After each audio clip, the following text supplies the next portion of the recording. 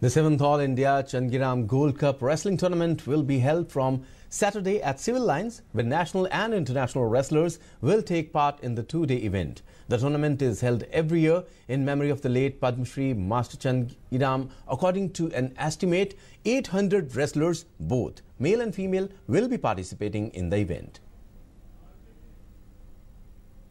लगातार छः वर्षों से हम पिताजी की याद में टूर्नामेंट कराते हैं और हम इसको हमेशा कोशिश करते थे कि हम इसमें कुछ ना कुछ बदलाव करते रहें।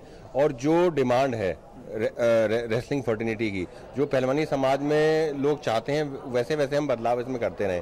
तो पिछले वर्षों में हमने जो ऑब्ज़र्व किया, वो यही किया कि भाई, छोटे बच्चों को, की प्रतियोगिताएँ बहुत कम होती हैं, उनको मौका नहीं मिलता है। तो इस बार हमारा, हमारी सोच यही है कि जो जो हमारी कैटेगरी सीनियर लेवल पर थी, वो हमने कम कर दी। और जूनियर लेवल पर और कैडेट लेवल पर और उससे छोटे ग्रुप में, पाँच से सात साल, आठ से दस साल और फिर ग्यारह से चौदह साल, ये कैटेगरीज रखी हैं कि छोटे बच्चों को एक मौका मिले, वो खेलें, वो अपनी कुर्सी कला का प्रदर्शन करें। भारत सरकार ने जो नारा दिया है, खेलोगे, कूदोगे तो बनोगे लाजवाब। ये ऐसा नारा है जो आज से पहले किसी सरकार ने नहीं दिया। तो ये जो नारा है, ये दिखाता है कि सरकार भी कितना खेलों के प्रति जागृत है और कितना वो काम करना चाहती है। योगेश्वर ने मारा मेडल, अभी महिलाओं में, साक्षी मलिक ने मारा मेडल।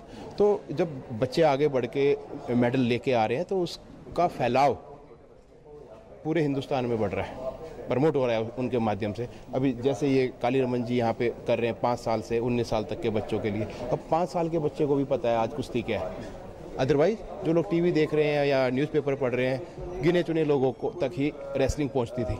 अभी हर बच्चे बच्चे तक रेसलिंग पहुँच रही है। स्टेरॉइड्स की ज़रूरत नहीं है स्पेशली इनिशियल स्टेज पर। स्टेरॉइड्स कौन से लेने चाहिए, वो स्पोर्ट्स में कौन से अलाउड हैं, वो किसी रीज़न की वजह से अलाउड से सिर्फ़ उन्हीं तक सीमित रहिए और वो भी जब ज़रूरत हो।